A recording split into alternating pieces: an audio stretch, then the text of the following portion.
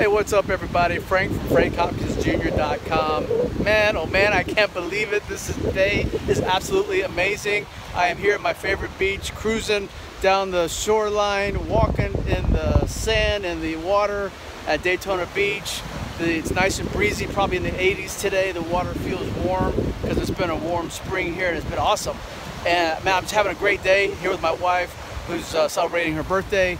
And then uh, just got to meet, uh, see one of my old uh, players from when I was in my coaching days way back when.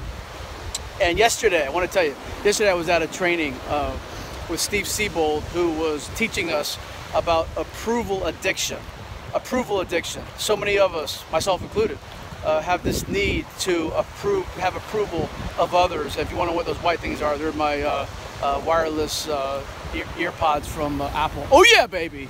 Anyway, so what happens is is that so many of us spend our life trying to get somebody to approve of what we do that we don't actually end up you know going after pursuing the dreams that are in us. We don't actually end up doing the things that matter to us most because we're wanting uh, approval of a family member or uh, you know a spouse you know whatever somebody in our lives. And so instead of going after what's really in us to do we uh, seek the approval of others. And sometimes we do that our whole lives and never really get to the place where we pursue what we were set here to do. And all of us have something that we were put here to do. Uh, tomorrow I'll go spend the day with uh, residents inmates in a correctional facility and they'll be getting out all of them within the next 18 months. And my job, along with everyone else's job uh, there, is to help coach these guys to, uh, you know, change their thinking.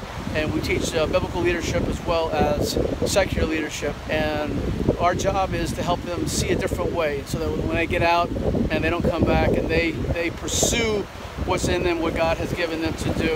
And many of them are in these that place because they sought the approval of the wrong crowd and it led them to a bad place. So I wanted you to think about today, what is it, who is it that, whose approval that you're seeking, are you seeking that's keeping you from doing what really is in you to do, what really you desire to do? My goal before I die is to help 100,000 people. And so think about it. Whose approval am I seeking and do I really need to be? No, at the end of the day, when my life is said and done, um, because of my faith, God's approval obviously will matter, and then what God gave me to do as an individual to, to serve Him and to serve others will matter as well. So I want to challenge you find out what's in you, stop worrying about the approval of others, and worry about the approval of the one who created you, and then, of course, yourself, so that when your life is, is done, you will be satisfied with what's been done through your life. Have a great day.